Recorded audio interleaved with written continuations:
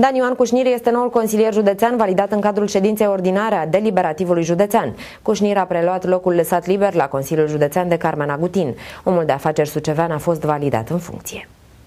Sincer, trebuie să recunosc faptul că am pierdut uh, o colegă uh, importantă pentru ceea ce înseamnă Consiliul Județean Suceava.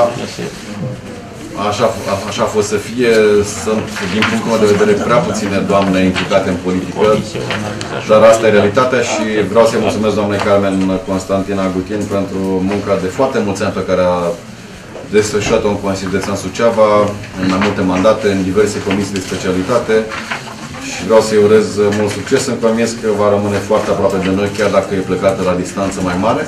Noul consilier județean și-a depus jurământul în prezența colegilor din cadrul Consiliului Județean Suceava. Jur să respect Constituția și legile țării și să fac cu bună credință tot ceea ce stă în puterea și priceperea mea pentru binele locuitorilor județului Suceava. Așa să-mi ajute Dumnezeu.